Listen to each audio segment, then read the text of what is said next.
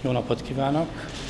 Tisztelettel köszöntöm Önöket itt a belügyminisztérium épületébe. Van egy rövid, meg egy hosszú mondandóm. A rövid az körülbelül úgy szól, hogy nem mondok le, mert nincs miért. A hosszúban meg azt szeretném elmondani, hogy ki vagyok én, mit csináltam eddig, és aztán végén esetleg kérdeznek engem. Tehát Tasnádi László vagyok, és nem mondok le, mert nincs miért. Jelenleg 60 éves vagyok, van egy feleségem, két unokám és egy lányom, aki házasságban él. Fiatal koromat sportolással töltöttem, majd 1978-ban a Volán vállalattól átkerültem a BRFK-ra. Sajtóba elhíresült ö, szervezetnél dolgoztam, méghozzá a BRFK 3 per 2 B alosztályon kezdtem. Ez a ö, szervezet ö, több téves sajtóba megjelent hírrel ellentétben kémelhárítással, majd később terrorelhárítással foglalkozott. A rendszerváltás idején ez a szervezet beolvadt a nemzet, újjáalakuló Nemzetbiztonsági Hivatalba, és ott a terrorelhárítási igazgatóságon dolgoztam. Majd később a hírszerzésre kerültem, ahol a terror felderítő osztályon dolgoztam.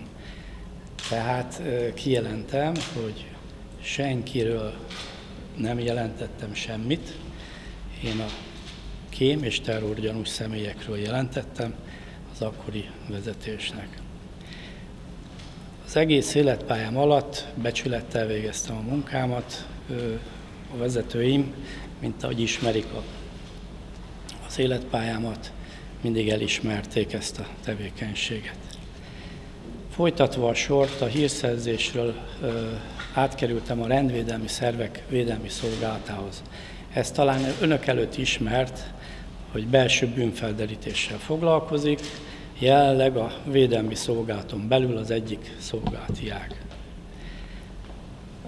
Feladatom volt többek között a, az akkori bűnügyi igazgatóság, illetve a, a, a APEC bűnügyi igazgatóság, illetve az APEC adó igazgatás elhárítnál végzett elhárító munka.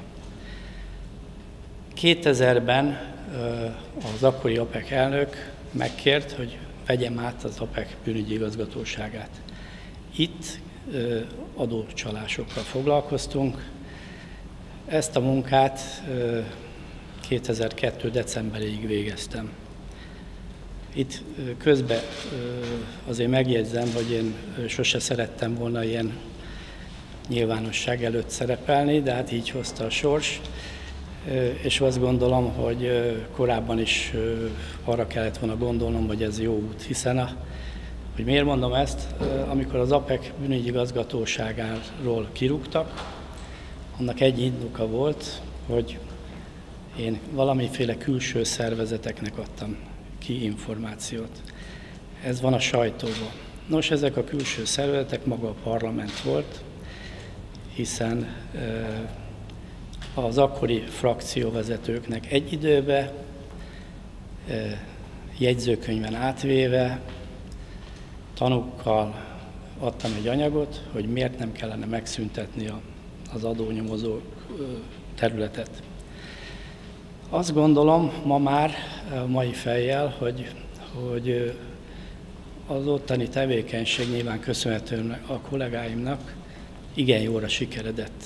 Tehát az akkori kormányváltáskor ez egy fő bűn volt, hiszen talán visszaemlékeznek, arról híresült el, hogy, hogy a vecsési számlagyárba le kellett foglalni az MSZP-nél számlákat. Nos, hát ez volt akkor a bűnöm. Kirúgtak, nem állt velem szóba senki, és egyedül Pintér Sándor mondta, hogy jöjjek hozzá, hiszen épp ő is a kirúgás állapotában volt. Nos, együtt dolgoztunk 7 évet. Mikor miniszter úr ismét kinevezésre került, akkor elhívott magához. Tehát elég régóta együttműködünk, ebben van gazdasági élet és van bűnüldözés. Nos, jelenleg itt vagyok, és az első négy évet abszolváltam kabinetfőnökként. Nem kellett senkiről jelentenem semmit. Most úgy gondolta a miniszter úr, hogy az életpályám alapján legyek rendészeti államtitkár. Ez szerintem egy komoly megbecsülés, legalábbis az eddigi életemben. Azt ugyan megjegyzem, hogy nem értem azt a dolgot, hogy mi az újdonság, most a sajtó miért foglalkozik ezzel, hiszen ezek a dolgok már a sajtóban régóta megvoltak. Úgy látszik a kinevezésem valami rémületet keltett. Én azt remélem, hogy nem azért, mert megint bejön az a dolog, hogy 2002-ben a jobb végeztük a munkánkat, az nem tetszett valakinek. Tehát én azt gondolom, hogy nem mondok le, nincs miért lemondanom. Ezt egy ember hozhatja meg ezt a döntést, Pintér Sándor. Most, hogyha van kérdés, szívesen válaszolok.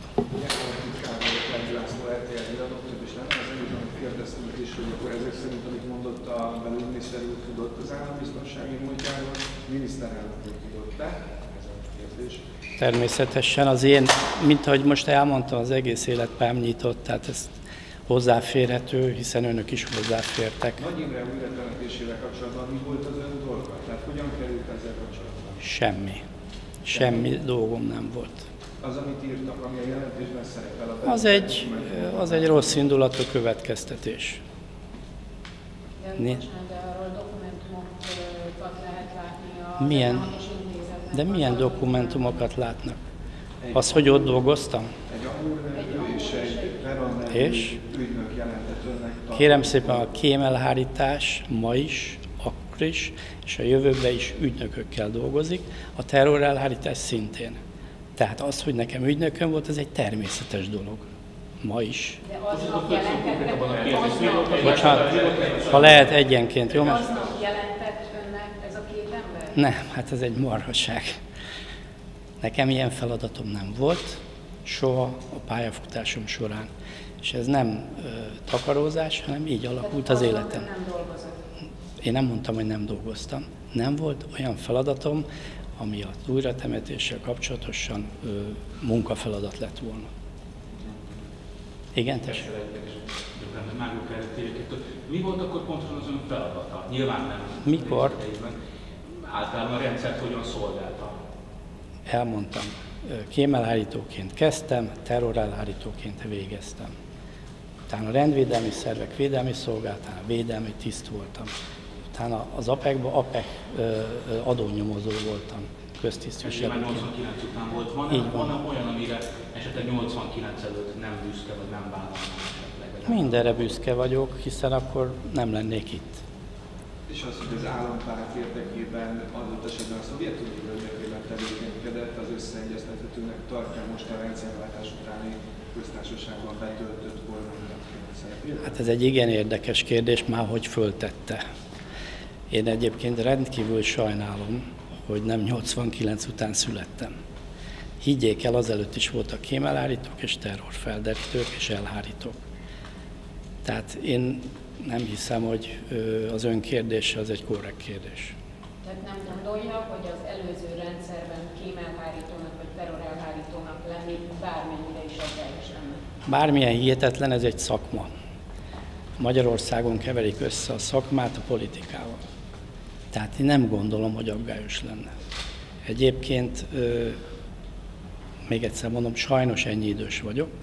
Ez volt a munkám, így alakult az életem. Aztán ugye a legelején azzal kezdte, hogy nem mond le.